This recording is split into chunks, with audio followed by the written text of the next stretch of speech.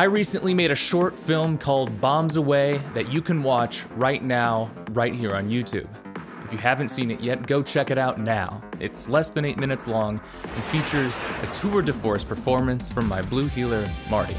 The video you're watching now is one in a series of videos about how this project came together from start to finish. Today, we're talking cameras, we're talking gear, it's production. So I'm gonna talk through the equipment we used, but I hope you'll stick around to hear what I have to say that isn't just about the gear. This was a very DIY project. In fact, most of it ended up being a DIM project. Let's try this, I guess. But even though I did a lot of it myself, I couldn't have done it at all without my good friend Chris, who runs Flink Films up in Madison, Wisconsin. I've worked with Chris a lot over the years, and he's got a great Sony kit we used for what you might technically call principal photography. Like go like this. Yeah. Hate that. This was a two person production, and even that is kind of pushing it a little because I was going to be acting on camera. So basically, it was all up to Chris to film me. Because of that, we went with his Sony FX3 and Tamron 35 to 150. We just wrapped in the parking lot. It's it's lunchtime. That Tamron lens is super impressive, and I don't think we needed to change it out for any other lens throughout the production. At the end of the lens, he ran a matte box with ND and polarizing filters. I wanted to shoot almost everything on a tripod, so we used my Sachtler Flowtech tripod with the aktiv6 fluid head. I wanted to use a tripod because I tend to work on a lot of run and gun productions where we're shooting a lot handheld or on a gimbal because we don't have a lot of time to get coverage. And for this project, I wanted to enforce some deliberation in our compositions and only use camera movement when the scene called for it. When all you've got is a gimbal hammer, every shot becomes a gimbal nail. Good boy. We also used Chris's Sony FS5 on a hood mount to record through the windshield of my car for a couple of driving shots. That works really well in this kind of situation for a few reasons. The biggest is that it doesn't have internal image stabilization, which can ruin your footage when mounting cameras to cars. It's also got internal ND filters, and because it's kind of an old, outclassed camera at this point, it wouldn't be the end of the world if it took a tumble off a car. Although I am talking about somebody else's camera here, so take that with a grain of salt. You're not supposed to see the red line there, so this one was not suctioned enough. Well, Unfortunately, none of those shots ended up making it into the final cut, even though it is one of my favorite setups we've filmed. And that's the same with another great setup. Chris rigged out his truck with his chase camera setup, which is very cool. I scrapped all those shots too because the weather conditions just didn't cooperate. We shot everything on location, as you might imagine for a scrappy production like this.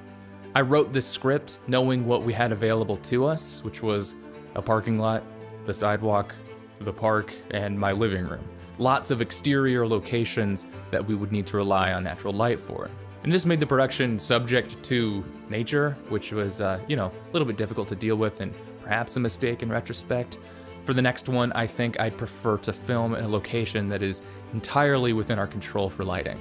But shooting it this way, using available light, allowed us to move fast, and the weather conditions mostly cooperated to provide a nice, soft, even light, at least on day one, which was a blizzard.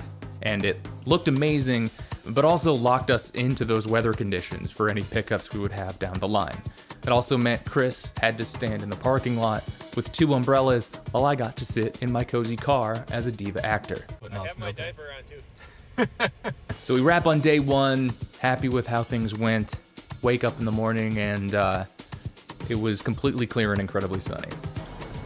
Oh, there's a cool light leak coming in through. Tilt your head forward. Like that? Oh, there it is. Yeah. That, along with the complication of being kicked out of both our Plan A and Plan B locations, meant that nothing we got that day ended up being usable. And then Chris had to head back to Wisconsin. We're doing some on the fly adjustments to how we're filming it. Uh, we got kicked out of a parking ramp, What's that? Oh, okay. which was already our Plan C parking lot. And so we're back at a different parking lot and making some quick on the fly adjustments to the script to make it seem plausible that we're filming in the middle of the day. I'm doing a costume change. This is uh, a little ridiculous. But the good thing about casting myself in the lead role and having my own camera meant that I am always available when I'm available. For pickups, I used my Canon C70, and I didn't worry about matching cameras at all throughout production because I knew I could make any of these work with any other in Resolve. I made a whole video about how to match Sony and Canon cameras in Resolve if you're interested. And so as you might imagine, I did rely pretty heavily on pickups for this, running out to get a shot when the weather conditions were right over the next month or so. Filming myself proved to be a bit of a hassle. I don't want to oversell how hard it is, but my brain had a hard time keeping track of composition, mic placement, props, and of course, my performance.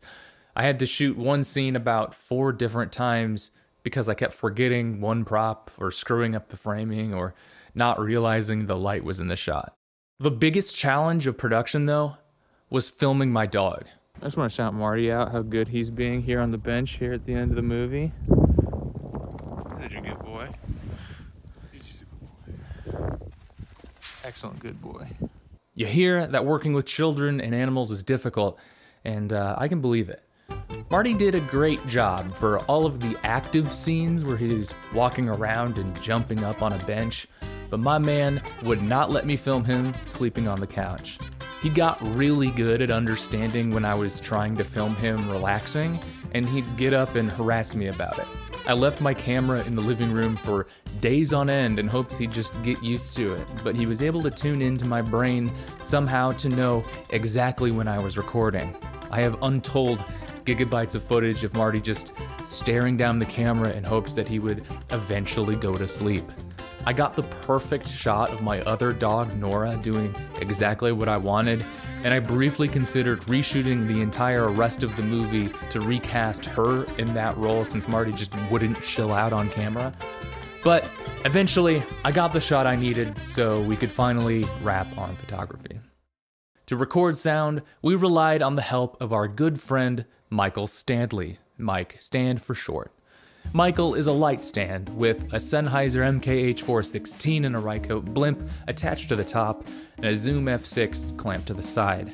We also had a Countryman B3 lav mic being recorded with a Sennheiser G4 wireless system going into the Zoom F6 as well. We recorded 32-bit audio with the Zoom F6, which helped a lot with moving quickly during production. I'm almost hesitant to talk about how we didn't have anyone to monitor the audio during production because I don't want to encourage that behavior, but it did work out for us. I consider myself to be someone who cares a lot about sound, but I'm now realizing I've spent what feels like 40 minutes talking about Sony cameras, and my section on audio is uh, this monstrosity. Our script relied a lot on hearing radio snippets, and a variety of mics were used for the VO. I know that some voice actors used a Blue Snowball USB mic, other used a Shure SM58, and one even just recorded a voice memo on his iPhone. Watch for a video coming soon about the work I did in post-production on the sound. So these were the tools I used in this production. Keep your eyes peeled for more behind the scenes content about this project, and if you haven't watched it yet, go see Bombs Away. Thanks for watching.